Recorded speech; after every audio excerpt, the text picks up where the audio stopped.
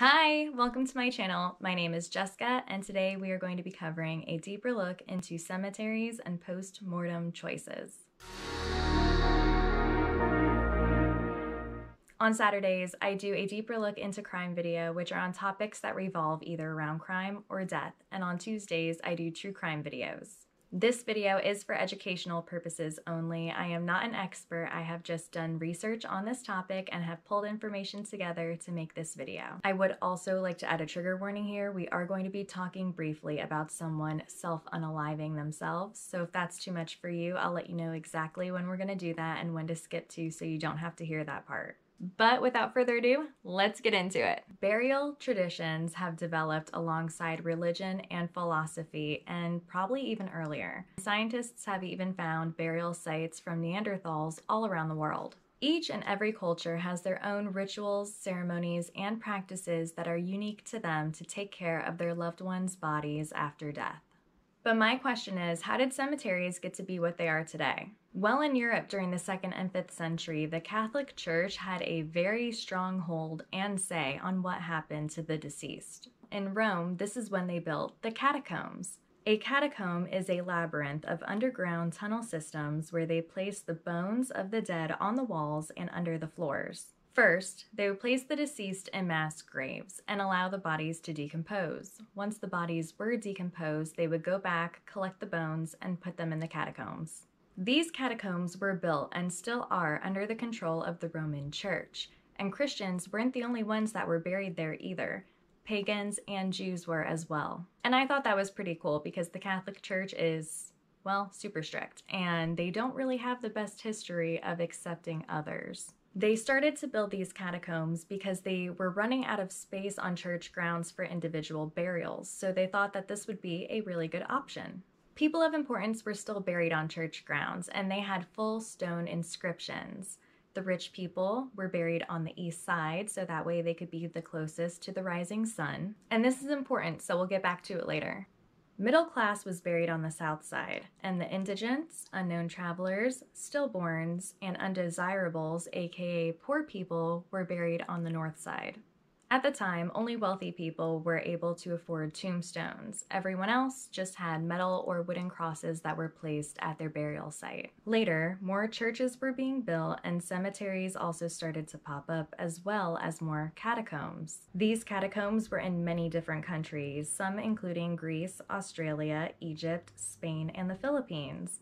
Recently, a strain of bacteria has been discovered that thrive in catacombs that produce mineral efflorescence. This appears as a grayish-white salt deposit on the skeletal remains, and this causes damage to the catacombs. Interestingly enough, they actually found two other bacterial strains that have the potential to produce counteractive enzymes for these mineral deposits. Even with these catacombs popping up in a lot of different areas and more churches and cemeteries being built, there were still people that were being buried on families' properties and even being thrown in mass graves near the heart of major cities. And this led to an epidemic in Great Britain and the United States, and I'm sure really everywhere.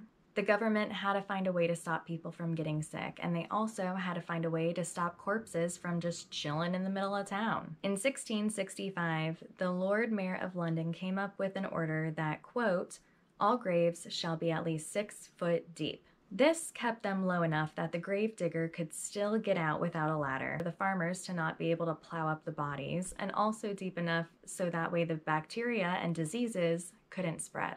Later on, the rule of thumb was that the grave should be as deep as the person is tall. They also started building and moving cemeteries to more rural areas. That way, they could make the cemeteries bigger, and they were also further away from the more highly populated areas. Nowadays, different states and countries have their own depth requirements. Most states require that there are 18 inches of dirt on top of the casket, which in turn turns out to be about 4 feet deep. In 1831, the United States built their first cemetery in rural Massachusetts, and they built it based on the Père Lachaise Cemetery in Paris. I hope I pronounced that right. So, again, though, people are still burying their loved ones on family properties and in churches, but the majority of these people are still going in mass graves because they're still in the middle of this epidemic. So, there's a lot of children and mothers that are dying. And this is on top of the mothers and babies already dying of natural causes at that time because of the lack of medical knowledge. So, on top of all these other deaths, I mean, people were just dying left and right from smallpox, typhus, scarlet fever, and yellow fever. I mean, it was bad. So, this big new cemetery gave people a place where they could go and visit and mourn their loved ones. This cemetery had big gates, beautiful statues, and large areas of land. These gates were seen as a symbol for families to leave their troubles of the outside world outside of the gates and made a space where they could resonate deeper with their spirituality. There were even travel guides for families to walk around with and a ton of picnic tables for them to eat at. This cemetery became a common place for picnics, shooting, hunting, and carriage riding. However, all this congregating became way too much for the cemetery staff to be able to keep up with, and between the crowding and the littering, they just couldn't do it. As a result, many cemeteries banned food consumption and large gatherings on their grounds. These large rural cemeteries are now called memorial parks. Nowadays, most people just go to cemeteries for the funerals and try to avoid them after that. The architecture in cemeteries now is cold and stark with simple plaques or tombstones with names and dates on them. There are some graveyards now that have computer terminals where families get to see pictures of their loved ones along with biographies and their favorite excerpts from books and poems. Have you ever wondered why all the tombstones in cemeteries tend to face the same way? Probably not, because I mean, it makes sense. It's easier to read them as you're walking by. However, that isn't the reason why all tombstones and bodies tend to face the same way. The actual reason is because the afterlife is so closely tied to religion, belief, and superstition. Way before Christianity became what it is today, pagans and other sun based religions bury their deceased facing east to greet their afterlife in each new day as the sun rises. Some Christians also bury their deceased facing east because of the belief of the second coming of Christ. The scripture says that he will come from the east and that all the dead will be able to meet him face to face. And some people even believe that when he comes, he will bring the dead back to life. After a while, this became a norm in the cemetery world, and now there's a lot of restrictions for cemeteries, and one of them is about keeping the tombstones facing east, not only for aesthetic reasons, but also for the workers. Some religious groups also bury their deceased loved ones to the west for the same reasons. Some Jewish cemeteries face west so that way they could face the direction of Israel. Some Muslims also like to bury their deceased so that way they're facing west. That way they could either be facing or perpendicular to Mecca. There are also a lot of old tombstones that are facing west, but that doesn't exactly mean that the bodies are facing west. And some Christian church leaders are also buried facing west. That way they could look after their flock and guide them when the second coming of Christ comes. This is the area where I'm going to insert the trigger warning. We are going to start talking about people who unalive themselves. And if that is too much for you and you want to skip ahead, you could go right up to this timestamp and I'll see you there. During the late 1700s and early 1800s in Great Britain, they would bury criminals and suicide victims at crossroads by themselves with a stake through their heart and no right to a religious ceremony. Based on a mix of superstition and religion, they thought that by doing this, it would confuse their ghost spirit and they wouldn't be able to haunt any of the living. They thought that committing suicide was a shocking abomination, and some of these crossroads are still around today. The most known one is Kitty Jay's grave. Her exact name isn't known. I saw Ann Jay and Mary Jay, but Kitty Jay was her nickname. This happened a long time ago, and documentation isn't great, especially because a lot of the story was spread by word of mouth. But according to the story, Kitty became pregnant by a farmer's son out of wedlock, and when his family found out, they kicked her out of the house. Kitty grew up as an orphan, so she didn't have any family and she had no place to go, and word started spreading around town. The most common belief is that she unalived herself in a barn on the farmer's property by hanging herself. She was buried at a crossroad in Dartmoor, Devon, England. The grave is now kind of a tourist attraction where a lot of times people will go and leave flowers for her. People have also claimed to see her ghost floating around that crossroad at night. Before we're done with this topic, I did find an interesting note from ancient Greeks and Romans, and they actually saw unaliving oneself very differently than we do today, and saw it as a person using free will to depart a miserable life and leaving in peace instead of living a miserable one. While doing research, I couldn't help but think what happens to our bodies after we're buried. Well, as soon as our heart stops beating, our cells become acidic, and that starts a chemical reaction that breaks down the cells. Even once your blood is replaced with embalming fluid, your body does still break down, and it continues to break down for decades. After only four months, the molecular integrity of your cells are gone, and your tissues begin to rot. After a year, all the tissues in your body completely disintegrate and turn into a liquid. After 80 to 100 years, the collagen in your bones are long gone, and the bones themselves become so frail that they will reduce to a powder if disturbed. All that will be left behind are the synthetic clothing fibers, the casket lining, and the corpse's teeth. Okay, so now we know how cemeteries became what they are today and what happens to our bodies after being buried. But what about if the graveyard closes down? Well, it varies country to country, but something we do know is graveyards only have so much space, and most plots are only used once. So cemeteries have to come up with something to extend the life of their land. See what I did there? Some places use up every bit of land using sidewalks and the spaces between already existing graves. The Church of England puts multiple caskets in individual plots. What they do is they dig back up the plot, they take out the first casket, dig the hole deeper, and then put the first casket back in and then the second casket on top. Another thing that's done is that they will rent the plot instead of sell it. So that way, when your lease is up, they'll exhume the body, cremate it, and then give the remains back to the existing family members. This is common in Germany, Australia, and New Zealand.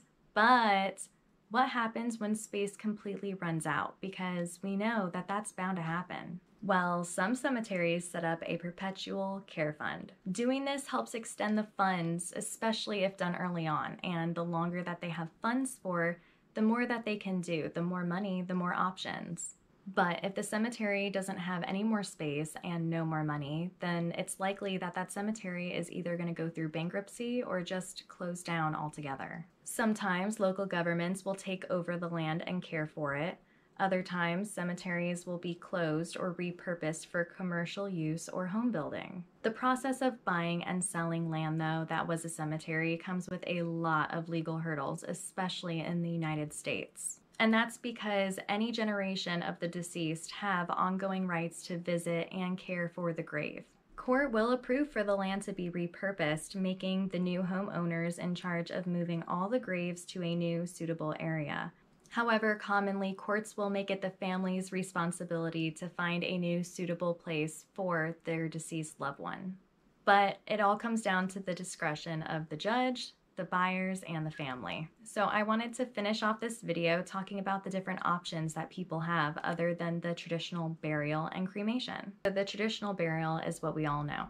Your body is drained of your blood and replaced with embalming fluid. You're then placed in a casket and is buried in a cemetery. Traditional cremation is an option that most of us also know. It's when your body is burned down into ashes, which is made from your bones, which is either spread somewhere of importance or kept in the possession of a family member in an urn. In 2015, cremation actually surpassed the traditional burial in the most common choices after death. And really, I think that that's because you could do so many things with the ashes. You can put them into fireworks, resin, glass, and so many other things. You could also have your ashes mixed into marine grade concrete and become part of an artificial reef where life can continue to grow on you. That's what I'm having done. That's my option. Another option that's growing in popularity are natural burials, also known as green burials. With this option, there is no embalming fluids or other chemicals that are used unless it is derived from nature, some essential oils can be used to help break down the body if needed, but this also means that there's no casket or concrete vault. There are a few different ways to do a natural burial, including the traditional natural burial, a mushroom burial, and a tree pod burial. In the traditional natural burial, your body is placed in a biodegradable casket and you are dressed into biodegradable clothing made from natural fibers. As your body naturally decomposes through time, you and everything that you got buried with goes back into nature and you fertilize the land around you. There are no tombstones, but most of the natural burial sites allow wooden plaques, engraved rocks, and trees. And I mean, it makes sense why this is growing in popularity. It's eco friendly, it's much cheaper than the traditional burial, and on top of that, it's more spiritual instead of religious. I didn't know about this one till I did some research, but there's a mushroom burial. The actor Luke Perry did this, and it helped make mushroom burials more known. Instead of being in a casket, you are dressed in a cotton bodysuit that has mushroom spores sewn into it.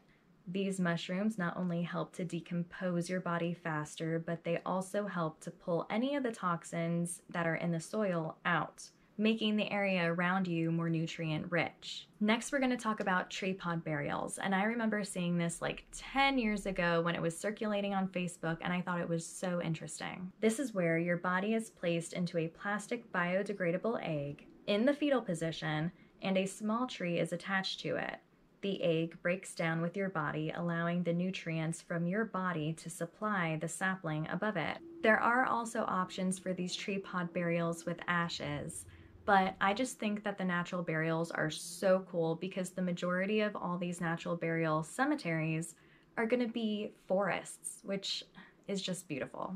Okay, now we're going to step away from the natural burials and talk about this one that isn't really as well known. It's called alkaline hydrolysis. This is also known as flameless cremation, water cremation, or green cremation. Basically, your body is placed in a large metal chamber where you are surrounded by 95% water and 5% potassium hydroxide or sodium hydroxide. The chamber is then heated up, pressurized, and shaken to help the hydroxide solution break down your body leaving bone fragments and a sterile liquid made up of water, salt, sugars, amino acids, and peptides. That water solution goes down the drain just like all other water waste, and all that's left behind are bone fragments that don't have any tissue or DNA. Those bone fragments are then pulverized and turned into ashes, so you get ashes just like a traditional cremation, However, you get 32% more ashes because you're not using fire. The process of alkaline hydrolysis isn't available in all areas and it's not even legal in some.